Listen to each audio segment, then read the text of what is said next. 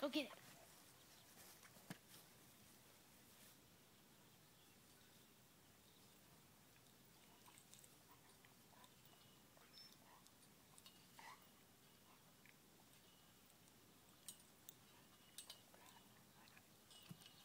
Good girl.